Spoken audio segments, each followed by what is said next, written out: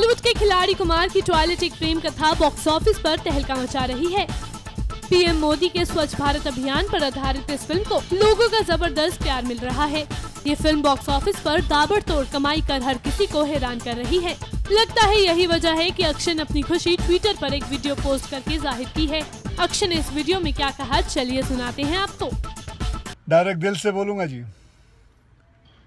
जैसे कि आप लोग जानते हैं कि मेरे लिए टॉयलेट एक प्रेम कथा एक फ़िल्म नहीं है, एक जुनून सा बन गया था पिछले एक साल में। कि भाई पिक्चर चले ना चले, इस टॉपिक को इस खुले में सोच जाने की प्रॉब्लम को, ये तो मैं घर घर में डिस्कस करवा के ही छोड़ूँगा। आज आपने इस फ़िल्म को, आप लोगों ने इस फ़िल्म को इतना प्यार दिया, इतना प्यार दिया कि ये बॉक्स ऑफ़िस में तो अपना काम कर ही रही है। लेकिन एक और बहुत ज़रूरी बड़ा काम कर रही है, ये जो सदियों से परंपरा चलती आ रही है, ये खुले में शौच जाने की जो बीमारी है, जो हमें लग गई थी इस बीमारी को आहिस्ते आहिस्ते जड़ से उखाड़ रही है। मुझे आपको ये बताने में दिल से खुशी हो रही है कि आठ नौ महीने पहले रिसर्च रिपोर्ट में हमने पढ़ा था कि 54 परसेंट लोग हमारे देश में खुले में शौच करते हैं, लेकिन अब वो 54 परसेंट थर्टी में बदल गया है आठ महीने के अंदर। मेरी पिक्चर तो इस बात को एक छोटे से, एक एंटरटेनिंग तरीके सामने मैंने आप लोगों के सामने रख दी है। लेकिन ये सफलता एक्चुअल सफलता मैं आप सब आप सब के नाम पे करता हूँ।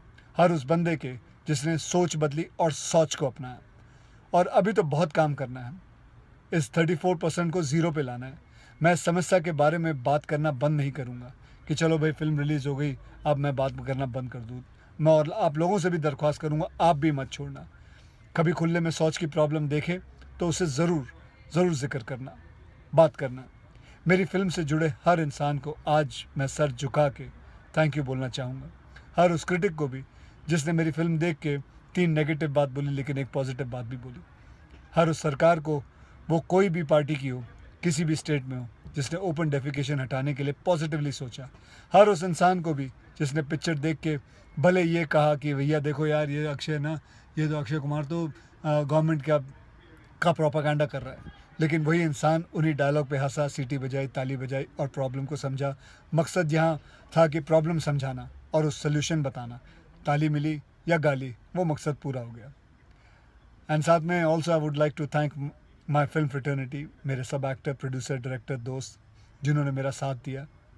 And a big hug specially to my friend Hrithik Roshan मैं यहाँ नहीं भूलूँगा, या मैं यहाँ नहीं बताऊँगा कि किस लिए, लेकिन जिन्होंने फ़िल्म देख ली है, उन्हें तो पता ही है, और जिन्होंने नहीं देखी, उनके लिए सरप्राइज़ आज इंडिपेंडेंस डे है।